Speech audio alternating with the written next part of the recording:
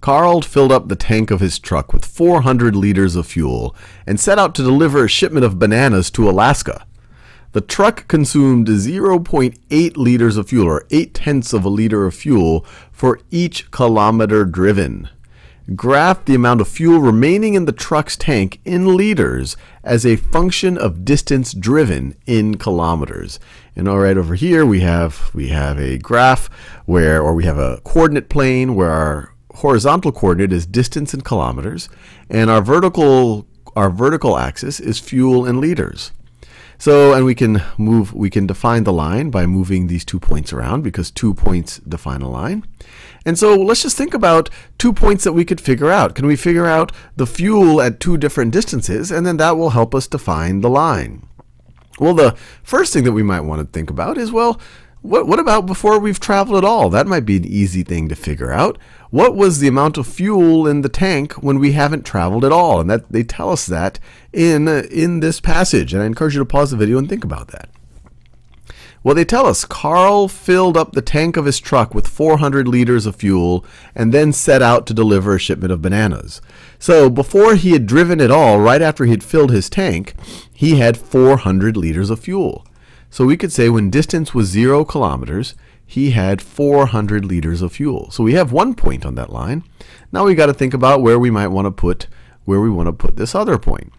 And the way I think about it is, well, let's just we, we know he's consuming he's consuming eight tenths of a liter of fuel for each kilometer driven.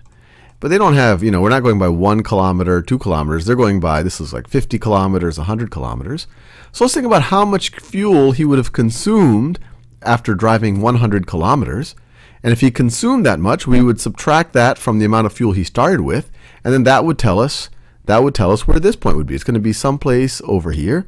And it's going to be it's going to be below 400 because we're consuming fuel. Fuel should be going down as distance increases. This should be a downward sloping line. So I have my I have my scratch pad here. Let me let me get it out. And I have the same question there. It just gives us all the same information. But what I want to figure out is so we already know we already know that so we have distance distance. Let me, I'll just write, actually, let me just write the whole thing, give myself a little bit more space. Distance in kilometers, distance in kilometers. And then you have fuel, you have fuel in liters. You have fuel in liters.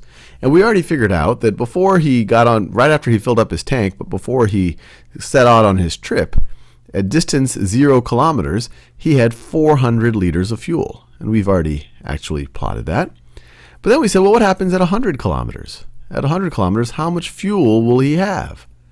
Well, they tell us that he consumes 0.8 liters of fuel for each kilometer. So 0.8 liters per kilometer. And then we just multiply that times the number of kilometers. So times 100 kilometers.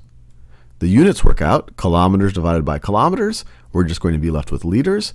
And then we multiply the numbers. 8 tenths of 100, well, that's going to be equal to 80. And the units are liters. 80 liters.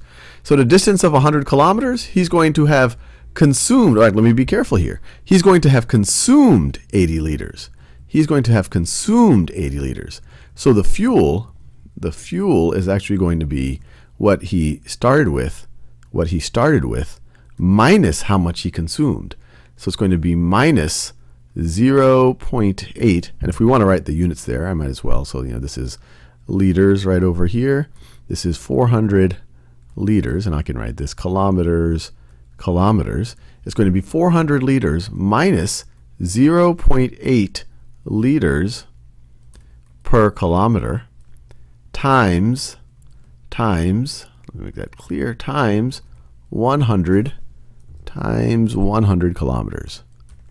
And same thing, kilometers divided by kilometers, and we are left with 400 liters minus 0.8 liters times 100.